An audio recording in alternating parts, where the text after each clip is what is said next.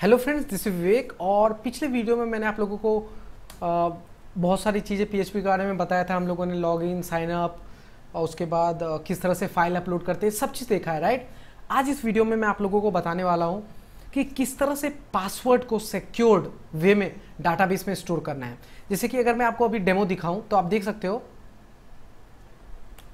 थोड़ा सा ज़्यादा ही बड़ा दिख रहा था ये ओके तो आप देख सकते हो यहाँ पे जो हम लोगों ने यूज़र नेम का जो पासवर्ड स्टोर किया है, वो प्लेन टेक्स्ट में स्टोर किया गया है। तो आप खुद बोलो कि क्या ये एक सेफ़ तरीका है। आप सोच रहे हो ये कौन सी बड़ी बात है, कौन मेरे डाटाबेस को देखने आ रहा है। लेकिन मैं आपको बता रहा हूँ, चलिए, अभी आपका नॉर्मल साइट है, पचास यूज़र आ रहा है लेकिन आप सोचो आपका साइट हिट हो गया ओके और उसमें दस हज़ार से ज़्यादा ट्रैफ़िक आने लगी।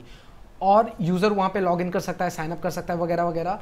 तो अगर आपका डाटाबेस अगर चोरी कर लिया गया या फिर हैक कर लिया गया तो आप देख सकते हो कि कितना लॉस होगा आपके वेबसाइट को। क्यों? क्योंकि अगर आप लोग प्लेन टेक्स्ट में पासवर्ड रखोगे तो वो पासवर्ड कोई भी देख सकता है, किसी भी यूज़र के किसी भी चीज़ को डिलीट कर सकता है राइट तो पासवर्ड को हैश करना। Hash is process of you know कुछ पासवर्ड में ऐड करना, उसे चेंज करना, ताकि कोई समझ ना पाए कि एक्चुअली वो है क्या ओके तो यहाँ पे आपको कोई भी रॉकेट साइंस नहीं है सिंपल एक मेथड है पीएचपी में, जो आपका यूज़ करना है और आपका जो पासवर्ड है, आप छोटा सा उसे पासवर्ड दोगे और वो बड़ा सा हो जाएगा राइट तो चलिए मैं इस वीडियो में आपको वही दिखाता हूँ कि किस तरह से पासवर्ड को हैश करना है और उसे सिक्योर वे में डाटाबेस में स्टोर करना है। तो डेमो के लिए मैं क्या कर रहा हूँ? मैं एक पासवर्ड वैल्यू ले ले रहा हूँ और उसको मैं अभी वैल्यू दे दे रहा हूँ पासवर्ड ओके और ये वैल्यू आप कहीं से आ सकती है, जैसे कि मान के चलो यूज़र ने साइन अप किया है तो उसने पासवर्ड अपना डाला है पासवर्ड तो सपोज़ ये वही वैल्यू है ओके अब आपका क्या काम है? आपको इस पासवर्ड को एज इट इज़ जाके डाटाबेस में स्टोर नहीं करना है ओके आपको इसको इनक्रिप्ट करना है, ताकि कोई भी अगर इस, इसके पासवर्ड को देखे भी तो समझ में ना पाए कि आखिर वो पासवर्ड क्या है। तो उसके लिए एक फ़ंक्शन है और वो बहुत सिंपल फ़ंक्शन है। वो है आपका पासवर्ड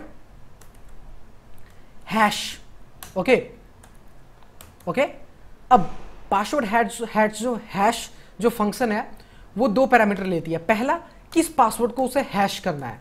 ओके? तो मैं यहाँ पे पास वेरिएबल पास कर देता हूँ और फिर जो दूसरा है, वो है कौन सा एल्गोरिथम ओके?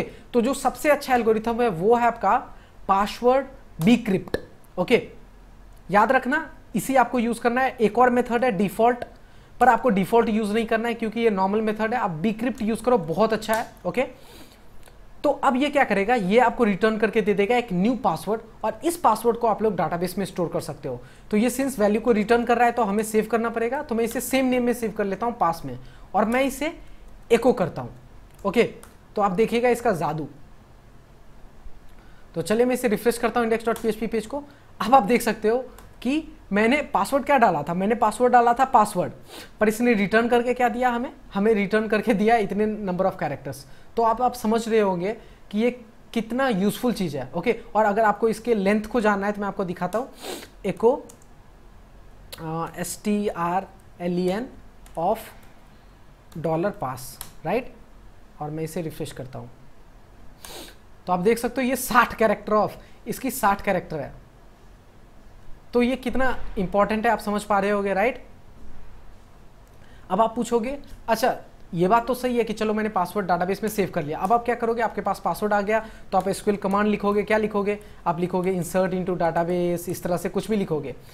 पर जब यूज़र इनपुट करेगा मतलब जब अभी था साइनअप का फेस मतलब साइनअप किया है तो आपके उसको, उस पासवर्ड को इनक्रिप्ट करके डाटाबेस में रखना है।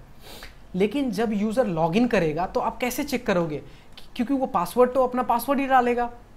तो वो और ये कैसे मैच होगा? तो उसके लिए आपको कुछ नहीं करना है। आपको जो फ़ंक्शन है वो है आपको कंडीशन लगाना पड़ेगा। इफ़ जो भी पासवर्ड उसने आ, वो किया है पासवर्ड फ़ंक्शन है पासवर्ड अंडरस्कोर वेरीफाई ओके? और पासवर्ड अंडरस्कोर वेरीफाई में आपको जो भी पासवर्ड आपको चेक करना है वो पास करना है। तो मैं पासवर्ड चेक कर देता हूँ डॉलर पासवर्ड मतलब मैं इसमें पासवर्ड वैल्यू पास कर देता हूँ। पासवर्ड ओके क्यों? क्योंकि यूज़र ने यही इनपुट किया होगा। अब इसको किसके साथ चेक करना है? इसको चेक करना है इस वाले वेरिएबल के साथ। डॉलर पास ओके और अगर ये सही हो जाए तो मैं एको कर देता हूँ। Your password is correct okay और चले मैं इसे रिफ्रेश करता हूँ। तो आप देख सकते हो योर पासवर्ड इज़ करेक्ट उससे पहले मैं क्या करता हूँ, यहाँ पे एक ब्रेक टैग लगा देता हूँ।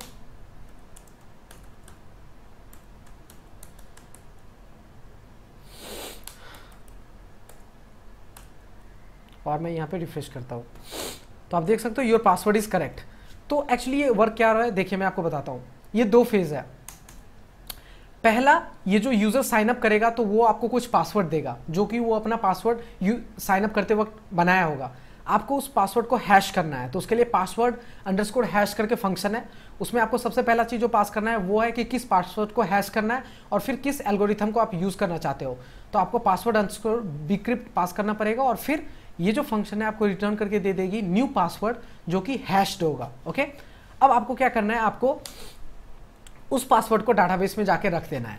अब जो दूसरा फेस है, वो है कि जब यूज़र लॉगिन करना चाहेगा तो वो अपना यूज़र नेम और पासवर्ड डालेगा।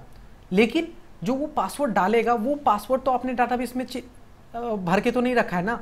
आपने तो डाटाबेस के वैल्यू को चेंज कर दिया है, आपने हैश करके रखा है तो वो वेरीफाई कैसे करेगा? तो उसके लिए आपको चेक करना पड़ेगा, एक फ़ंक्शन है पासवर्ड अंडरस्कोर वेरीफाई मेथड से। उसमें आपको जिस भी पासवर्ड को आपको चेक करना है, वो आपको पास करना पड़ेगा और फिर जिस वेरिएबल के साथ आप चेक करना चाहते हो, वो आपको पास करना पड़ेगा। और ये वेरिएबल बेसिकली आपको डाटाबेस से आएगा। क्यों? क्योंकि डाटाबेस में उसका पासवर्ड स्टोर्ड है।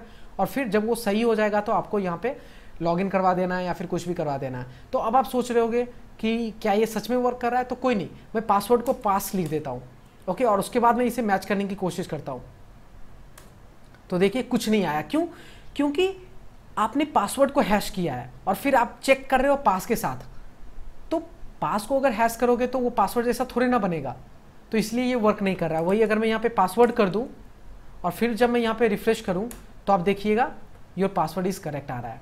तो आई होप आपको समझ में आया होगा कि how to hash password and how to store it safely in database अगले जो वीडियो में बताऊँगा, जब मैं प्रोजेक्ट्स वगैरह करूँगा तो हम लोग यही मेथड यूज़ करने वाले हैं। तो वहाँ पे आपकी और रिवीजन हो जाएगी। बाकी अगर वीडियो में कुछ समझ में नहीं आया तो कमेंट करके बताइए और वीडियो को आराम से देखिए। कोई हरफरी नहीं है ओके